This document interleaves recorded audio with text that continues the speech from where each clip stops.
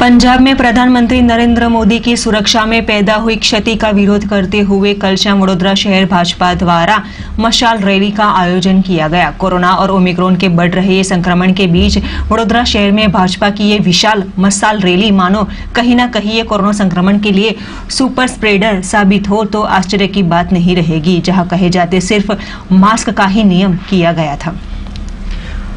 वडोदरा शहर में कोरोना और ओमिक्रोन के बढ़ रहे लगातार केस, वडोदरा शहर के लोगों के लिए एक चिंता का विषय बना है। हर रोज वडोदरा वासी अब बढ़ रहे नए केस पर आँख लगाकर बैठे हो, वैसे अपनी सुरक्षा और सलामती के लिए कुछ न कुछ चिंतित बनने के साथ कदम उठा रहे हैं।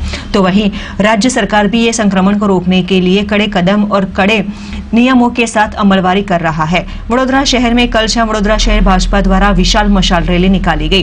पंजाब में पीएम मोदी की सुरक्षा में पैदा हुई क्षति का विरोध करते हुए और पंजाब कांग्रेस सरकार का विरोध करने के भागरूप कल शाम वडोदरा शहर भाजपा द्वारा भारी तादाद में कार्यकर्ता इकट्ठा होते हुए मशाल रैली निकाली गई। तो ये मशाल रैली कहीं ना कहीं कोरोना और ओमिक्रोन के बढ़ रहे संक्रमण के बीच मानो सुपर स्प्रेडर समान साबित हो तो कोई आश्चर्य की बात नहीं रहेगी।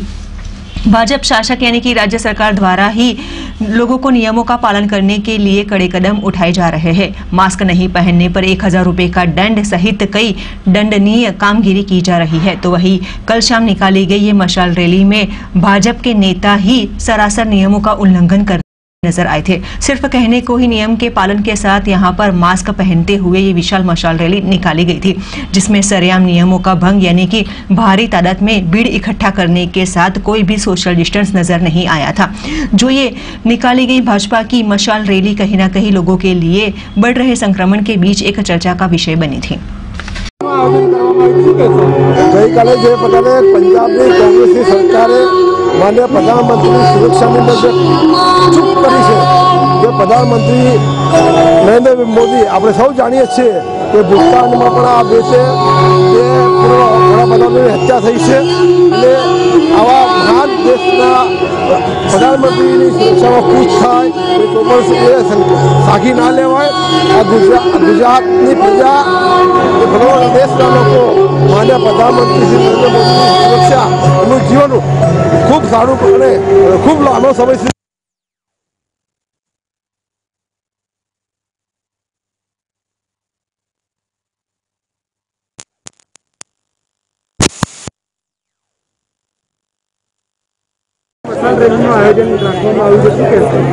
દેશના પ્રધાનમંત્રી આદરણીય નરેન્દ્રભાઈ મોદીજી નો કાફલો કાલે પંજાબમાં જે રીતે રોકી દેવામાં આવ્યો, સુરક્ષા મળી નહોતી. પંજાબના સીએમ તરફથી જે પ્રધાનમંત્રીજીને જે તે સ્ટેટની સરકારે સુરક્ષા આપવી જોઈએ, એ સુરક્ષા આપી નહોતી. દેશના પ્રધાનમંત્રી કોઈ પાર્ટીના પ્રધાનમંત્રી હોતા નથી. દેશના પ્રધાનમંત્રી છે અને આદરણીય નરેન્દ્રભાઈ મોદીજી સાથે જે કાલે થયું, એના માટે અમારે ભારતીય જનતા પાર્ટી આજે અનેક મંદિરોમાં મહામૃત્યુંજયના જપનું પણ આયોજન કર્યું. તો સાથે સાથે આજે એક મશાલ રેલી દ્વારા પણ અમે એક મેસેજ આપવા માંગીએ છીએ પાર્ટીના કાર્યકર્તાઓ, શુભેચ્છકો. દેશના પ્રધાનમંત્રી આદરણીય નરેન્દ્રભાઈ મોદીજીનું આયુષ્ય શતાયું ભગવાન શંકર એમને બિલકુલ આયુષ્ય આપે, ખૂબ શક્તિ આપે, ભગવાન રક્ષા કરે એવી અમે ભગવાનને પ્રાર્થના પણ કરી છે. સાથે કોંગ્રેસને પણ સદબુદ્ધિ આપે કે જ્યાં એમની સરકાર છે અને એમણે સુરક્ષા જે પૂરી પાડવાની હોય સુરક્ષા નથી પૂરી પાડી, તો એમને સદબુદ્ધિ આપે અને પંજાબના સીએમ રાજીનામું આપે.